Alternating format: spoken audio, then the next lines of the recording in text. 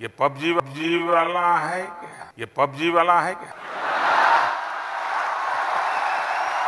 നമസ്കാരം one India Malayalam ഡൽഹിയിൽ കഴിഞ്ഞ ദിവസം നടന്ന ഒരു പരിപാടിയിൽ ഓൺലൈൻ ഗെയിമായ പബ്ജിയെ കുറിച്ചുള്ള പ്രധാനമന്ത്രി നരേന്ദ്രമോദിയുടെ പരാമർശം വൈറലായിക്കൊണ്ടിരിക്കുകയാണ് പരീക്ഷയെക്കുറിച്ചുള്ള ചർച്ചയിൽ തൻ്റെ മകൻ ഓൺലൈൻ ഗെയിമുകൾക്ക് അഡിക്റ്റ് ആണെന്നും പഠനത്തിൽ തീരെ ശ്രദ്ധിക്കുന്നില്ല എന്നും ഉത്കണ്ഠയോടുകൂടി ഒരമ്മ പരാതിപ്പെടുകയുണ്ടായി मेरा बेटा कक्षा नवी का छात्र है। महोदय पहले मेरा बेटा पढ़ाई में बहुत अच्छा था।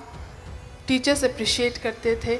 लेकिन अभी कुछ समय से ऑनलाइन गेम्स की तरफ़ उसका झुकाव कुछ ज़्यादा ही बढ़ गया है जिसके कारण उसके पढ़ाई पर फ़र्क पड़ रहा है। मैंने उसे बहुत समझाने की कोशिश की है लेकिन मुझे लगता है मैं असफल हूँ।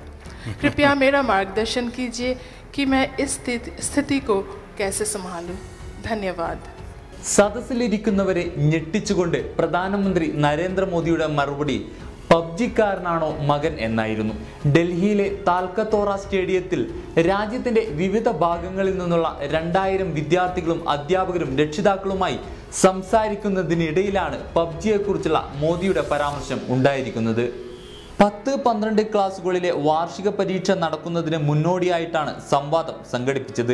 രണ്ടാം തവണയാണ് പരീക്ഷാ പേ ചർച്ച സംഘടിപ്പിക്കുന്നത്. സാങ്കേതിക വിദ്യകൾക്ക് നല്ലതും മോശവുമായ കാര്യങ്ങൾ ചെയ്യാൻ സാധിക്കും. വിദ്യാർത്ഥികൾ സാങ്കേതിക വിദ്യകൾ സ്വായത്തമാക്കുന്നത് മനസ്സിലാക്കണം. മോശമായി ബാധിക്കുന്നവയിൽ നിന്ന് അവരെ മാറ്റി നിർത്താൻ രക്ഷിതാക്കൾ ശ്രദ്ധിക്കണമെന്നും മോദി പറയുന്നു. കുട്ടികളെ പ്ലേ സ്റ്റേഷനിൽ നിന്നും പ്ലേ ഗ്രൗണ്ടിലേക്ക് മാറ്റാൻ രക്ഷിതാക്കൾ ശ്രമിക്കണമെന്നും അദ്ദേഹം ഉപദേശിച്ചു. വെല്ലുവിളികൾ നമ്മെ കൂടുതൽ കരുത്തരാക്കും. ഓരോ ദിവസവും കഴിഞ്ഞ ദിവസത്തേക്കാൾ മെച്ചപ്പെടാൻ ശ്രമിക്കുക. പഴയ നമ്മളുമായി എപ്പോഴും താരതമ്യപ്പെടുത്തി അവരോട് തന്നെ മത്സരിക്കാൻ പഠിക്കണമെന്നും അദ്ദേഹം പറയുന്നു. മാതാപിതാക്കളുടെ നടക്കാതെ പോയ സ്വപ്നങ്ങൾ യാഥാർത്ഥ്യമാക്കാൻ കുട്ടികളെ നിർബന്ധിക്കരുത്. ഓരോ കുട്ടിക്കും അവരുടേതായ കഴിവുണ്ട്. അത് കണ്ടെത്തി പ്രോത്സാഹിപ്പിക്കുകയാണ് മാതാപിതാക്കളുടെ ചുമതല.